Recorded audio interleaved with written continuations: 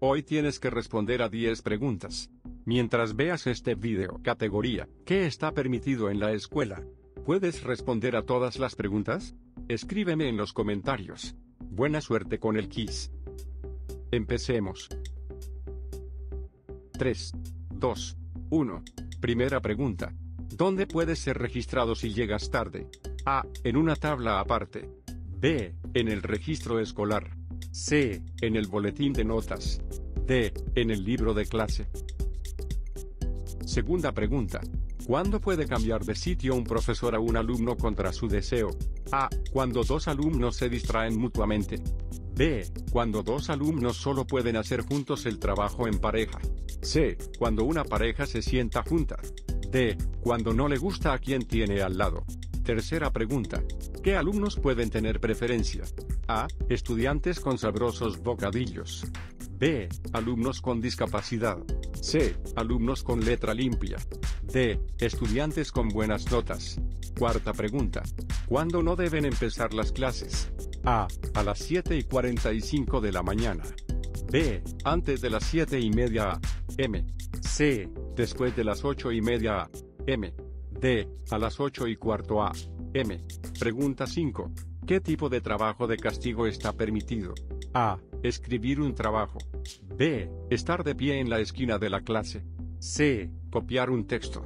D. Escribir la misma frase una y otra vez. ¿Puedes darle a me gusta a este video?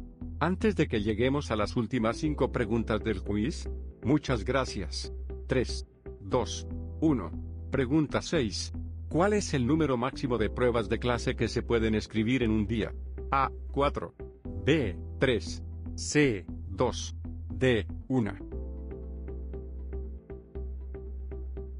Pregunta 7. ¿En qué situación el profesor puede prohibir a sus alumnos ir al baño? A. Si ya han ido dos veces por clase. B. Nunca. C. Durante un examen. D. Durante las clases. Pregunta 8. ¿Está permitido comer y beber en clase? A. No hay ninguna norma.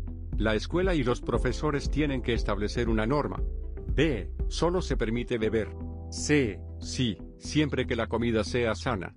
D. No, para eso están los descansos. Pregunta 9. La clase la termina.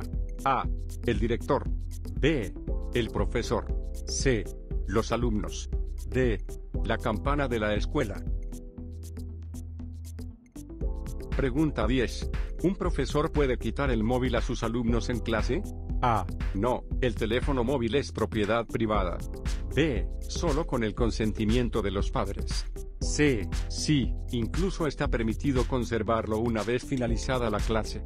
D. Sí, pero debe devolverse al final de las clases. Muy bien, el quiz ha terminado. Soluciones. ¿Pudiste responder todas las preguntas? ¿Qué pregunta no sabías? Escríbeme en los comentarios. Dale a me gusta y suscríbete a mi canal para ver más videos fantásticos. Adiós.